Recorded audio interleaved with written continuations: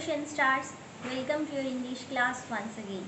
Today we will continue with tenses. In previous videos we have done about simple present tense present continuous tense and present perfect tense. In this video we are going to continue further with present perfect continuous. So let's start today's video. The present perfect continuous is used to refer to an unspecified time between before now and now. The speaker is thinking about something that started but perhaps did not finish in that period of time.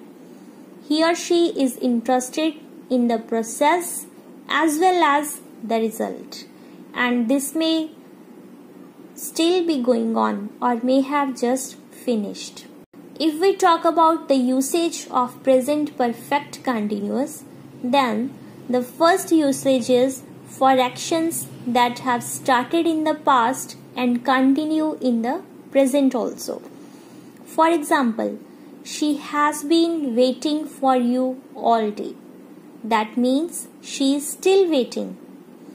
Second sentence I have been working on this report since 8 o'clock this morning. That means I started at 8 and I'm still doing it, I haven't finished.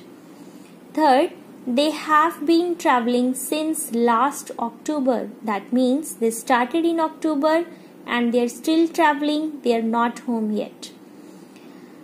Second usage is actions that have just finished but we are interested in the results. Example, she has been cooking since last night. This means action has finished, she has cooked now, but we are interested in result. That means food on the table may look delicious or not. So that is the result.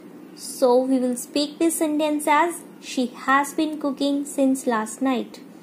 It has been raining. It has been raining means the streets are still wet.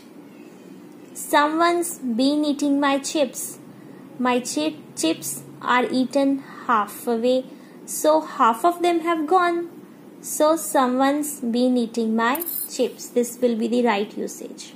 If we talk about the formation of present perfect continuous, then the structure of present perfect continuous is subject plus has been or have been plus verb plus ing. Has been is used with singular whereas have been is used with plural subject. Example She has been swimming. She singular so we will use has been swimming. They have been swimming. They is plural, so we will use have. They have been swimming. If we talk about different forms of present perfect continuous, then it is having three different forms affirmative, negative, and interrogative. Affirmative is the statement question Example She has been running. Negative we will use not after has. She hasn't been running. Interrogative Has she been running? There are different examples of these three different forms. I have been living, I haven't been living, have I been living? I and you are treated as plural, so we will use have with them.